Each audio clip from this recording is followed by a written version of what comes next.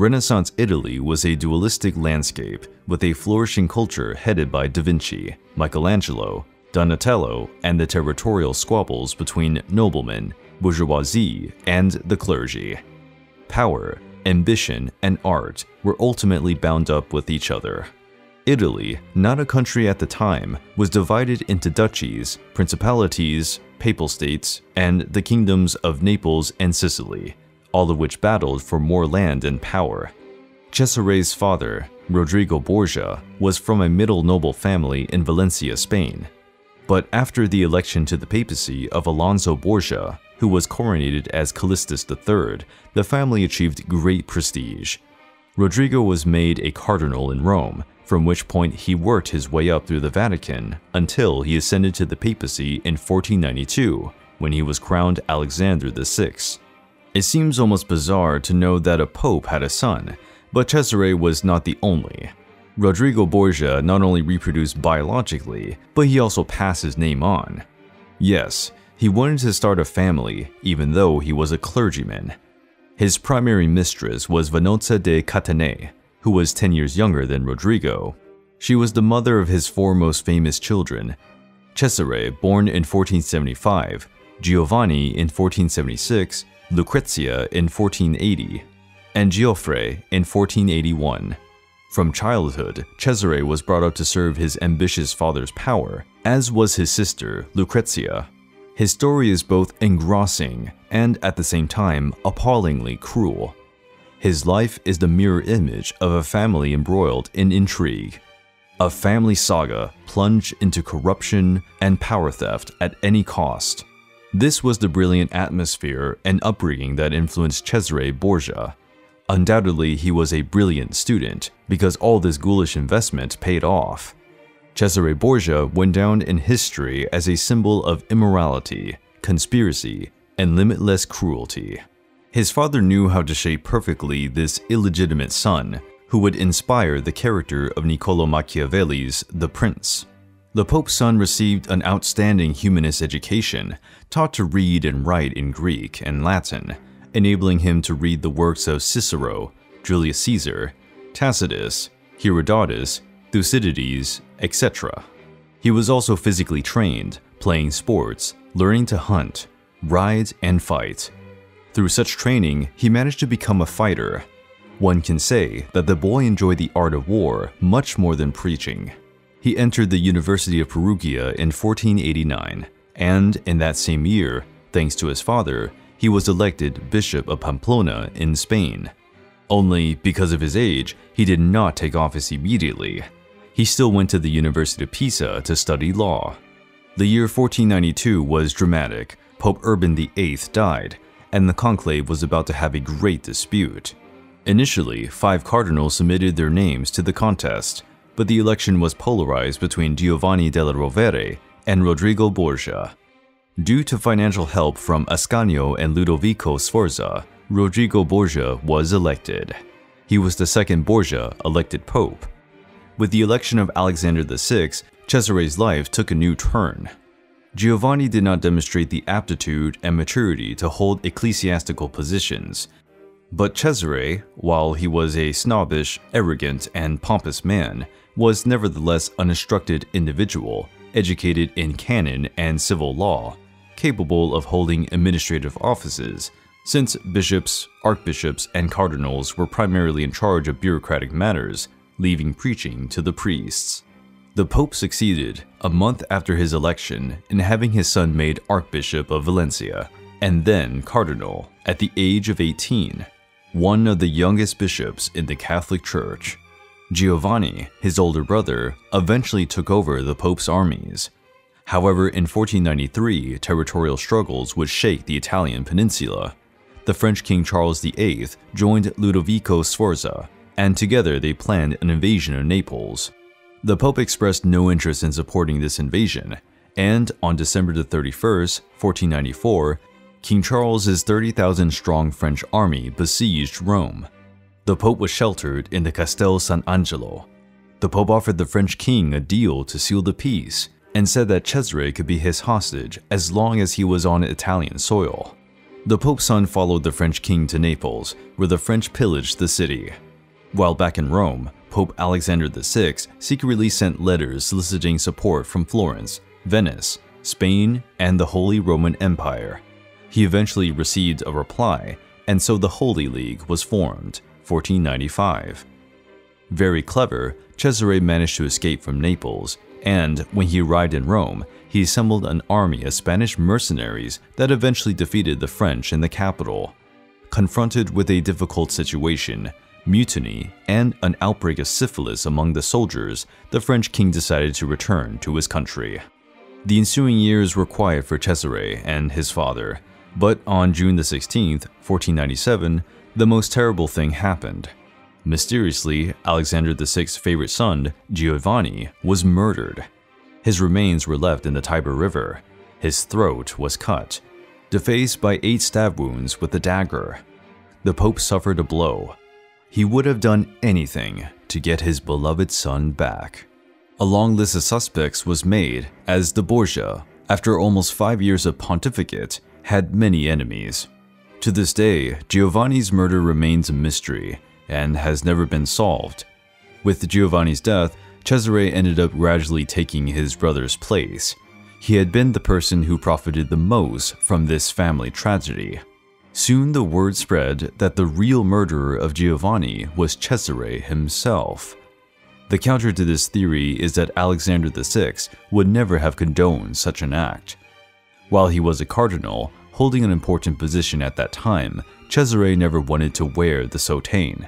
Upon his brother's death, he suggested to his father to renounce the cardinal's office and all other ecclesiastical positions, taking over the reins of the family's political and military affairs.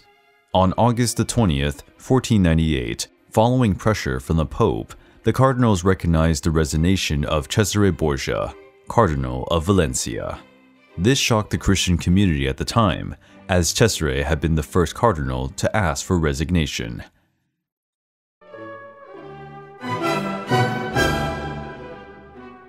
Liberated from the soutane and ecclesiastical life, Cesare could marry, and soon an opportunity emerged. French King Charles VIII eventually died in 1498, and Louis XII took his place. The new king had been married a long time and had no children. He intended to reverse his marriage and marry the widow of his predecessor, Anne of Brittany.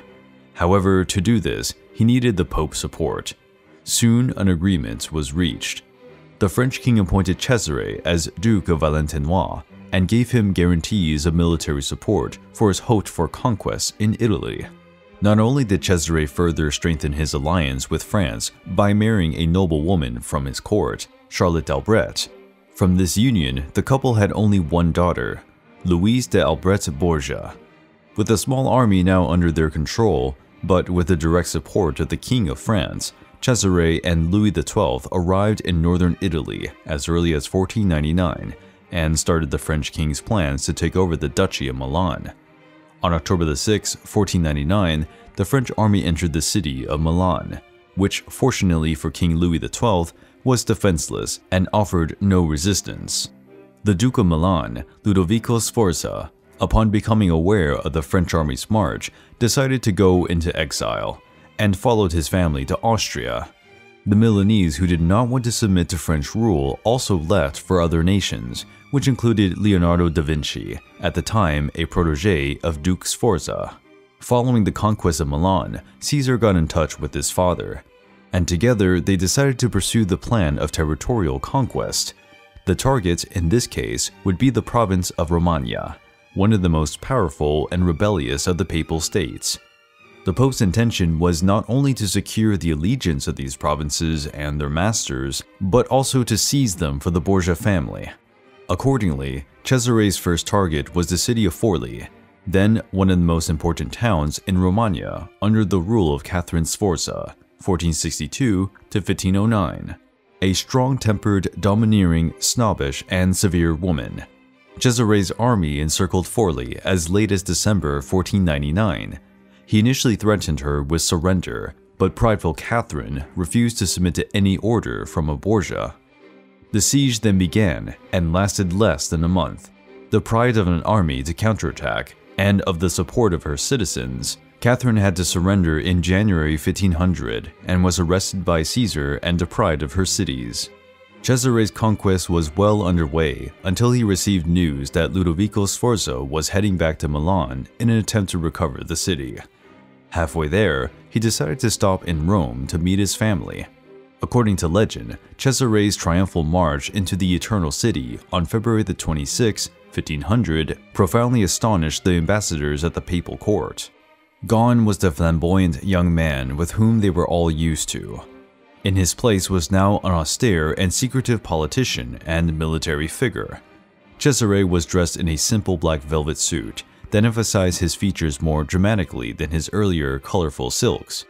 Henceforward, black was born as Cesare's favorite color. Cesare is often remembered in history for his strictness with enemies and foes alike, However, many of these cases were magnified by his enemies. Some people say that he eventually killed his brother-in-law, Alfonso of Aragon, the second husband of Lucrezia Borgia.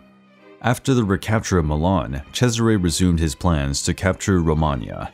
Over the next months of 1500 and 1501, with an army of 10,000 men, Cesare claimed several victories. On May 15, 1501, Alexander VI appointed his son Duke of Romagna, his second major noble rank.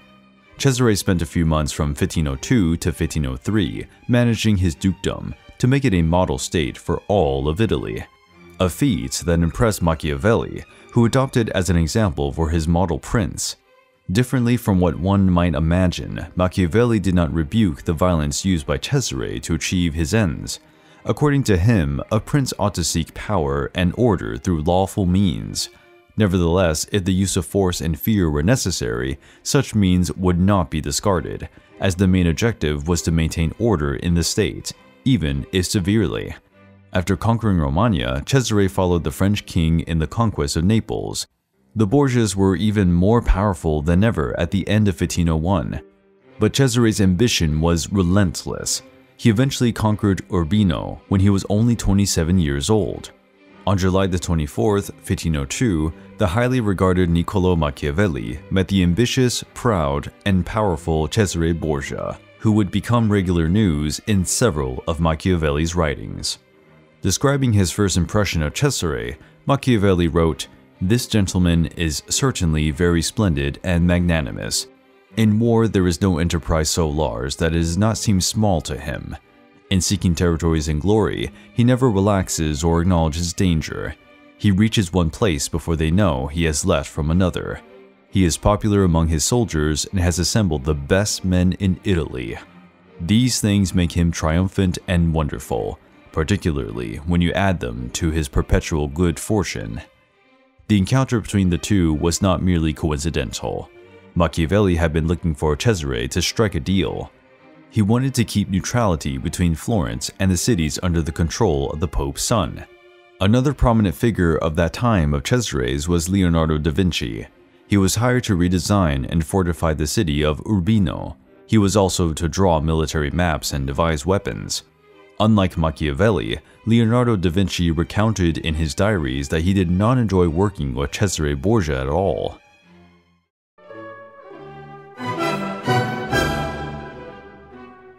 By mid-1503, Cesare Borgia was at the head of Romagna, Urbino, and the March, conquering these states in about 10 months.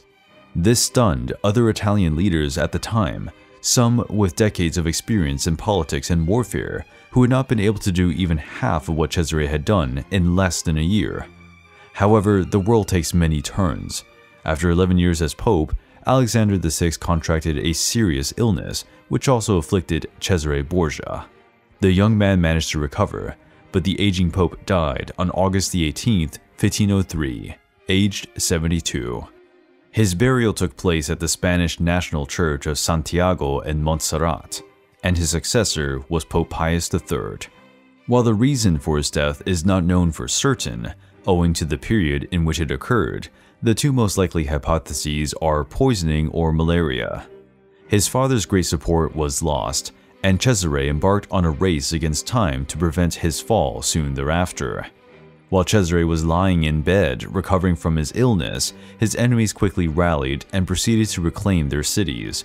Only the French king was left, but he was slow to dispatch reinforcements. Nevertheless, Cesare managed to persuade several cardinals at the end of September to elect Francesco Piccolomini as pope, who took the name of Pius III.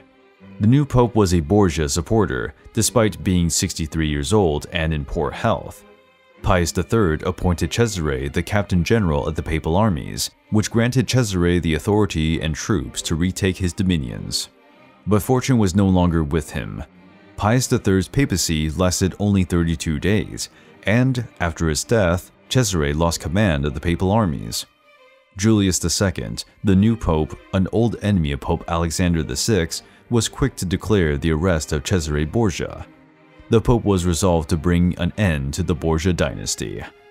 Cesare was imprisoned for months under a sort of house arrest.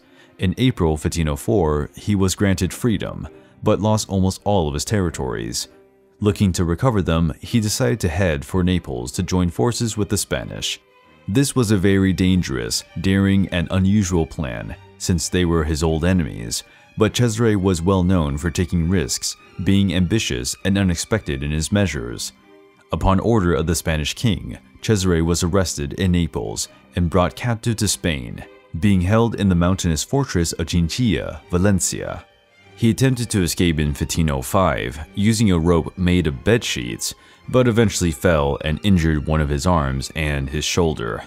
However, due to his escape attempt, the Spanish king ordered his transfer from prison, sending him to the castle of La Mota in the city of Medina del Campo.